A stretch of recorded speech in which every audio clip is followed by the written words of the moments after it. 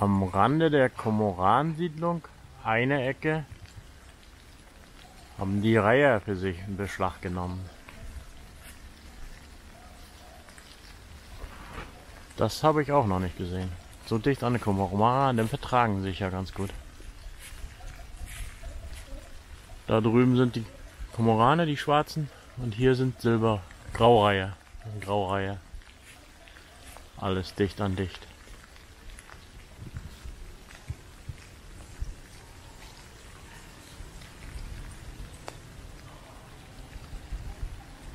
Nicht, dass die Graureiher auch so hoch brüten.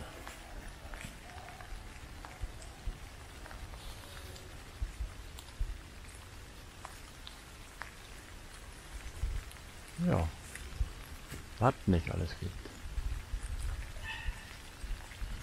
Das ist ein Silberreiher, der da oben. Hier brütet ja wohl alles.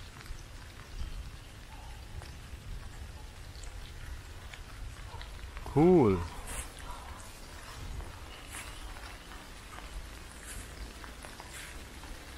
Das habe ich auch noch gar nicht gesehen. Ich habe noch gar keine Reihersiedlung überhaupt gesehen.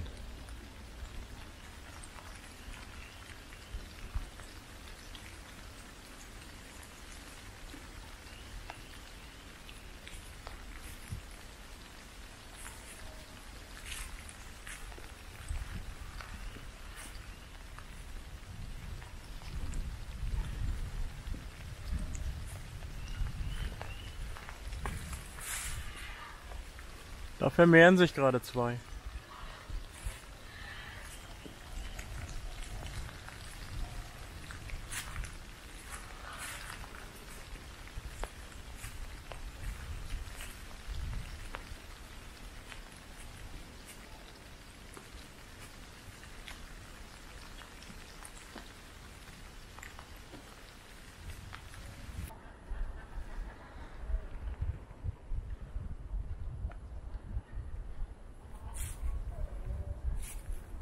Eine Komoransiedlung in Niederhof bei Stralsund.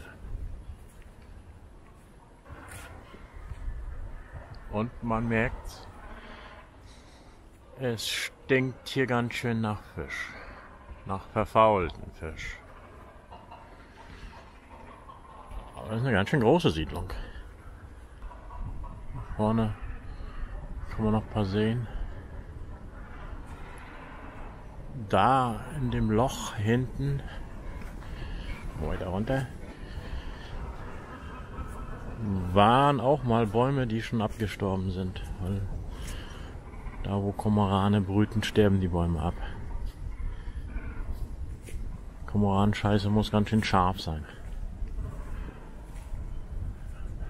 Dann rutschen sie immer wieder auf die nächsten Bäume, die noch lebig sind.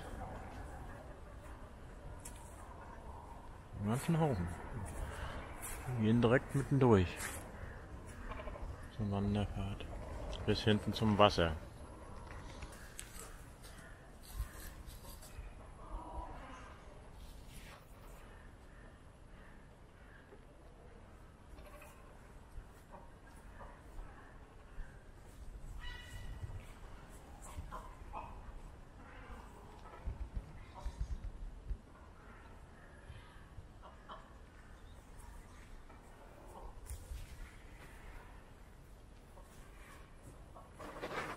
Kormorane ernähren sich ja hauptsächlich von Fisch. Sehr gute Taucher.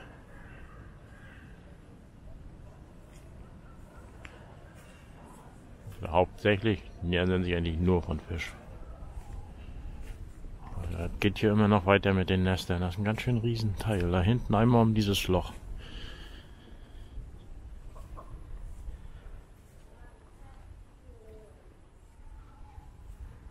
Solche Siedlungen gibt es hier an der Boddenregion in Mecklenburg-Vorpommern eigentlich ziemlich viele.